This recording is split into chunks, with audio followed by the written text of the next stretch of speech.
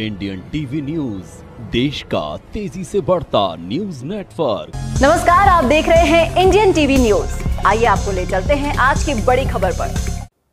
बकानी 22 अगस्त विधानसभा चुनाव को लेकर ब्लॉक कांग्रेस कमेटी की बालाजी पार्क में बैठक आयोजित हुई। बैठक में कांग्रेस से विधानसभा चुनाव लड़ने के इच्छुक उम्मीदवारों से आवेदन लिए गए। बैठक के मुख्य अतिथि प्रदेश कांग्रेस उपाध्यक्ष कैलाश मीणा ने अपने संबोधन में कहा कि बिजली की काफ़ी ज्वलंत समस्या है। इस पर सभी बात करेंगे। सरकार को आम जनता के लिए जो करना था, वह कर चुकी है।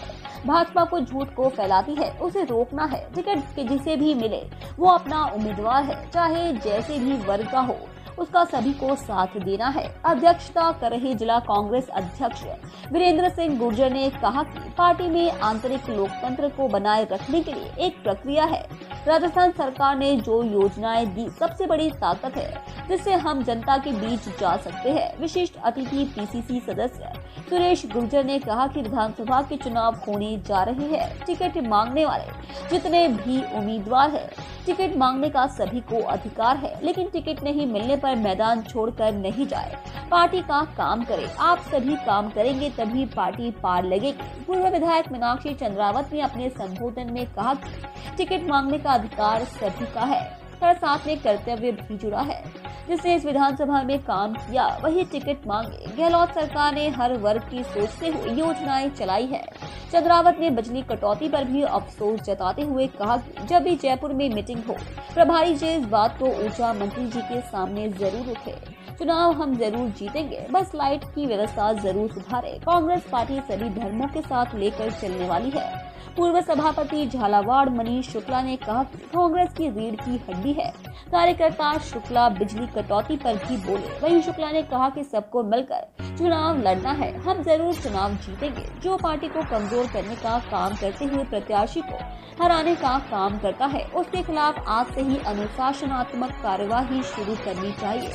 खानपुर विधानसभा प्रभारी शिवकांत नंदवाना ने कहा कि आज की जो बैठक रखी गई है, इसका मुख्य उद्देश्य जो भी चुनाव लड़ना चाहते हैं, वे ब्लॉक अध्यक्ष को आवेदन दे। जिस तरह का माहौल राजस्थान में है, गहलोत जी ने जनता के लिए जो योजनाएँ शुरू की, शायद वह पूरे हिंदुस्तान में नहीं है। गहलोत साहब ने महँगाई राहत कैंप चलाए, जिससे आमजन को काफ़ी लाभ मिला। नंदवाना ने केंद्र सरकार को आड़े हाथों लेते हुए बढ़ती महँगाई के लिए घेरा। और कहा कि केंद्र सरकार ने काफ़ी महँगाई की है, टिकट किसी को भी मिले। सभी को उसका काम करना है। ब्लॉक अध्यक्ष भरत चतुर्वेदी ने अपने संबोधन में कहा कि गहलोत सरकार द्वारा अच्छी योजनाएँ चलाई गई है। हमारी पार्टी की खूबसूरती है कि हमारी पार्टी में लोकतंत्र है। सभी को अपनी बात रखने का अधिकार है। हम सभी को मिलकर आपसी मतभेदों को भुलाकर, सभी को मिलकर पार्टी को मज़बूत करना है। पूर्व सरपंच छगन सिंह गुर्जर ने आभार जताया।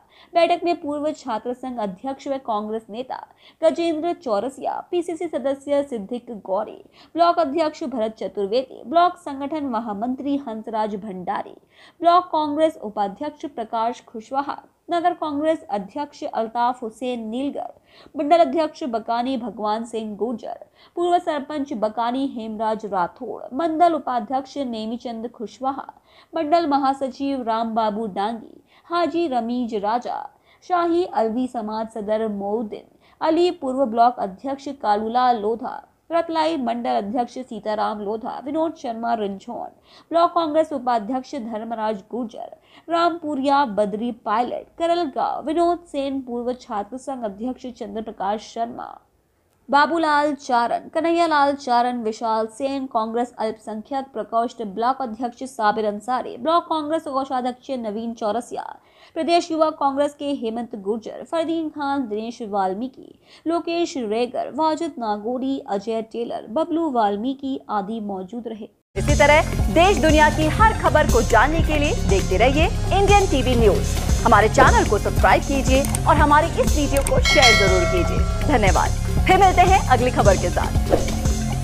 इंडियन टीवी न्यूज़, देश का तेज़ी से बढ़ता न्यूज़ नेटवर्क।